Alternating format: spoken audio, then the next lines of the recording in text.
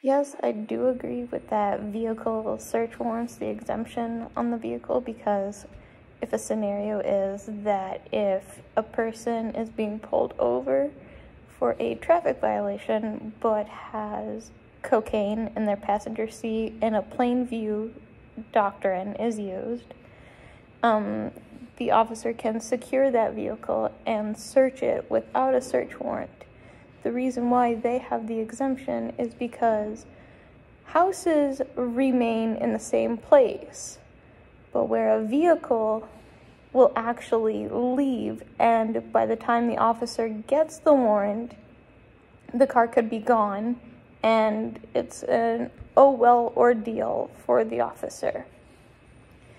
Whereas a house will remain until the officer gets the search warrant and the evidence and the probable cause for it to be searched. But for a car, they could easily take off and leave, and the officer could come back and be, be like, well, it was sitting here and now it's gone, as well as the evidence. It could also go the same way for a house as well.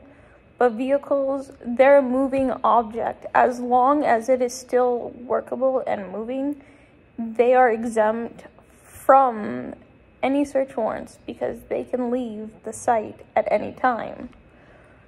Who I believe this benefits more is the police because it saves them the time for one, if it's in plain view, if it's either a weapon, illegal substances, it saves them the time that they will have to go to the to whoever is writing the search warrant to the judge be like these are my probable causes. This is why and all this as where it could just be like you could just secure the scene.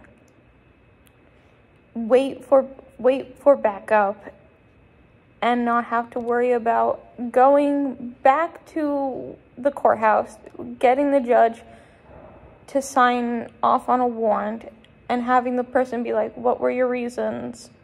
Why did you have them sign the search warrant in the first place? What was your probable cause for said search warrant? Where it just would be easier just to wait for backup, secure the scene, and take the substances out of the car and bag it into evidence.